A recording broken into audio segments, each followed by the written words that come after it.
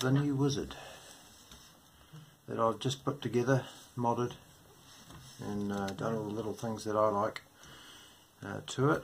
And uh, obviously that was after, if you've watched my previous videos, it was after uh, my last wizard had a uh, an ESC fire and uh, pretty decent crash. So um, now I've stripped it down.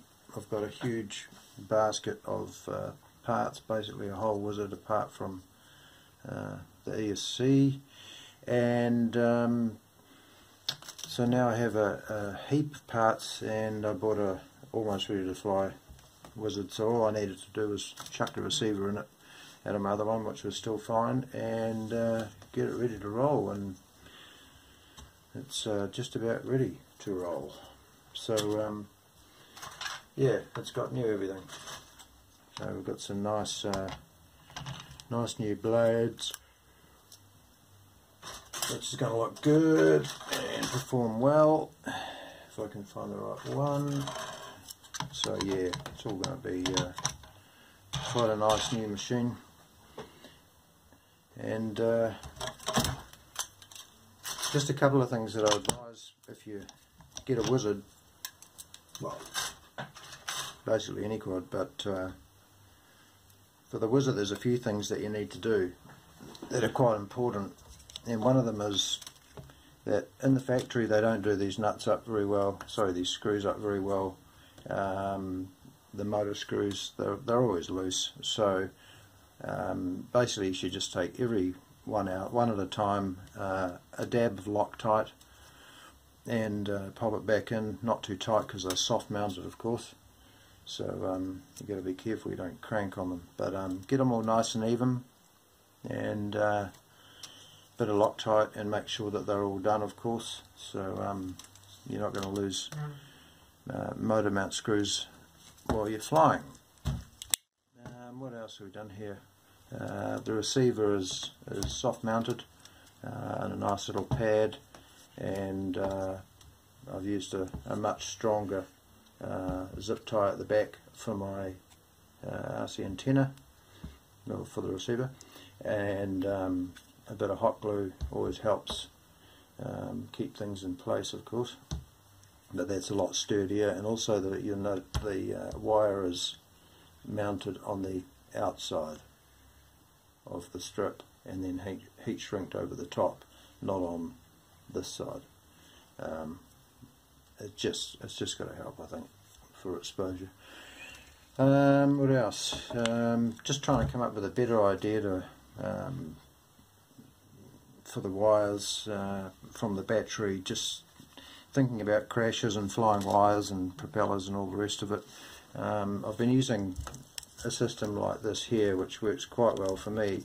I keep a rubber band on every LiPo and uh, and then of course I just plug it in there and basically that's how it sits and it, it's pretty good except um, you know th these bands can break or they can they get old and perished and you, you, really don't want them to come off in flight and, and then have a have a crash with wires flying everywhere. Just need to get things secure but obviously not heavier. So I came up with this little idea of just putting one of these little, um, what would you call them, like a stereo um, clip that you'd put on the wall to mount your speaker wires, maybe hide them away, that type of thing, or car stereo, but it works really well. Um, you can see there it's just a little, boy that is hard to see, little clip there, and you can lift it up and it locks in place. So uh, I think that'll work quite well because um, it's got double-sided tape and it sticks to the side here. So uh, basically, chuck your battery on, strap it down, chuck your wires into there, clip it in, plug in your in your battery there, and basically it's going to sit like that. And that's pretty damn secure. I like that a lot. So, um, and then to release you need to press on it and then stick your fingernail under it. But, um, so there's that. Um, I don't use a GoPro because I think uh, carrying around extra weight is uh, uh, not a great idea when, I mean, you don't need a viewing screen on your HD camera. So I prefer to use the Mobius or even one of the other similar uh, brands that uh, are like this, not rather than the big square GoPro. But um, this is a this is an awesome little camera. I highly recommend these for for gliders and quads, helicopters, whatever you use. But um, it's fantastic picture. They're extremely tough. Um, and really adaptable. I mean, you can do all sorts. So I've got another mount that I put on it that I often uh, uh, I'll remove the um, the camera off this, and I can with Velcro put this mount on here. It's a ball mount, so basically you can point it wherever you want. Whoops, just popped out there. And uh, so you can do rearward view um, filming while you're flying and you can tilt it to the side, you can do whatever you want with it, it's just awesome. But um, not practical for all flying because of course uh, when you crash you're probably going to break this thing. But uh, I've got a few of them there, they're only a few bucks each.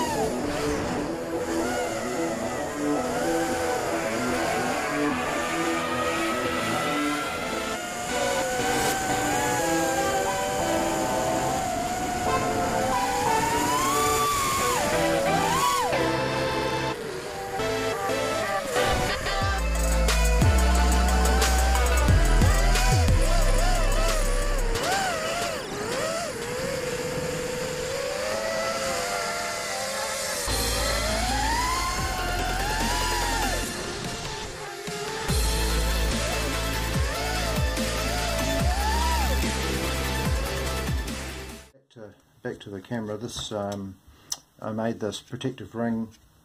So if it takes a direct hit on the lens it should pretty much um, hit on the ring uh, I hope. Um, straight on the front there rather than the glass but I do have a spare lens but uh, they are about 40 bucks each. So there was that mod uh, that there to hold it on um, and you can use a strap but you don't want to cover up your heat sinks. So that's just a cable tie with some uh, braid over it and then some heat shrink over the top of that. Holding that on that's worked out pretty good. Um, what else have we done here? Uh, just a few cable ties holding down your your uh, motor wires. It's always a good idea not too tight but just to keep them in place. Um, I have covered up this one little hole underneath here um, I know we want airflow and cooling, but if you land in the long grass there, you're going to get water inside, uh, right onto your circuit boards, and that's that's a really bad spot. So I, I think it's much better to cover that up. That's uh, this is the front here, so yeah, cover up that hole. But um, uh, what else have we done here? Okay, on this side, the left side, you'll see that on the left side you'll see in this panel uh, there's a hole in the carbon fibre side plate and it's extremely small and it sits and rubs on the top of all these wires here. And uh, so I've just made it bigger basically got the Dremel in there and just honed it out a little bit just to take the pressure off these coloured wires and um, also a little bit around around these ones but uh, it's quite quite a um, quite a good little mod that one. And what else have we done here? Tightened up the FPV camera a little bit because I like to run it at about 30 32 uh, degrees. And um, I have had a problem in the past where uh, you're flying around you end up bumping the ground um, and still flying, not, not a full-on crash, but bumping the ground, and that would be enough to flip your FPV camera down, and next thing you have to get your quad back to wherever you're landing with uh, with it pointed down. It's uh, it's not that great. So anyway, that's nice and tight now. That's to rock and roll. Uh, what else? Uh, I've put a put a uh, 45 degree on the on the back antenna here to um, uh, help with broken antennas. I mean, I haven't broken that many, but um, I think this is going to be good just to keep it out of the way. And uh, if it's no good, I'll go back to the straight up and down. But I think this will work quite good. It's fairly secure. Um, yeah, I think that's about it. So I guess we should go and uh, light the fire, see how it flies.